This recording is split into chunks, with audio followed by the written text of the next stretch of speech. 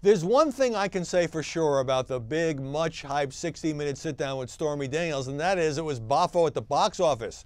Early ratings showing that CBS got the highest number for its news magazine show in 10 years.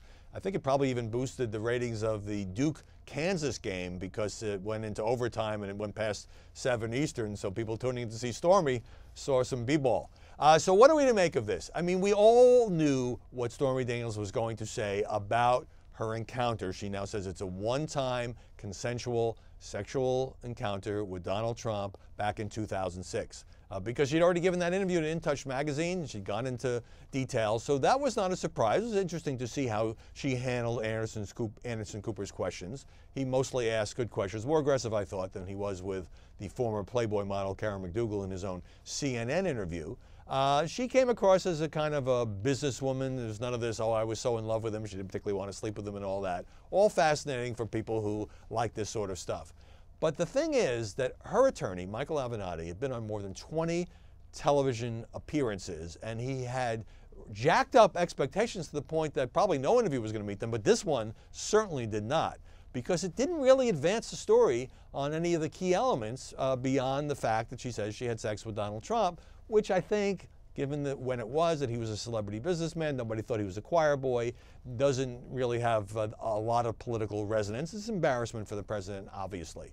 So there was this question of the threat. Avenatti said there was a physical threat. You're going to hear about that. Stormy Daniels says that in 2011, before Trump was in politics, but when she was thinking of selling her story to a magazine, she was in the parking lot, uh, a car with her daughter, and a man who she does not know came up to her and says, Leave Trump alone, forget the story. Uh, saw her daughter, beautiful little girl, be ashamed if something happened to her mom. Well, that's pretty chilling if it happened. I'm not saying it didn't happen, but Stormy Daniels says she doesn't know who that guy is. She didn't go to the police. So it's impossible for any of us to verify it or to know whether this was somebody associated with Trump world. The same thing happened. Uh, you have to remember now that while she's now telling the story, there were two or three different times, as recently as last January, when Stormy Daniels allowed statements to put out her name saying, no, no, this never happened, no affair, no hush money, whatever.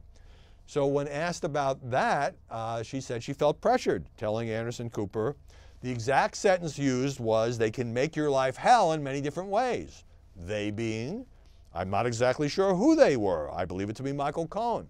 So she doesn't know who pressured her. They, she can't say who they is. Michael Cohen, the president's personal lawyer, did, admits, acknowledges, uh, pay her $130,000 at the end of the campaign to keep quiet. He's told that to me. He doesn't dispute it. He says it wasn't trying to influence the campaign.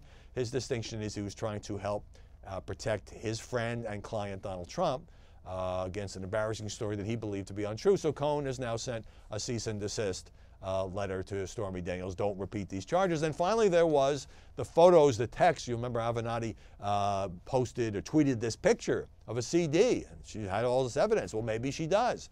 But when asked about it by Anderson Cooper, on the advice of my lawyer, I'm not going to go into that. So on any single thing looking for a headline, yes, she says she was threatened. And the media coverage is, you know, Stormy Daniels speaks. Stormy Daniels says she had an affair. Stormy Daniels says she was threatened. But it's, it's a journalistic responsibility to say she can't say by who. She doesn't know who the guy is. She can't say who they were in terms of pressuring her. And unless she has more specifics, yes, this will play out as a legal battle, and it could eventually, I suppose, lead to some kind of presidential deposition if they're lucky.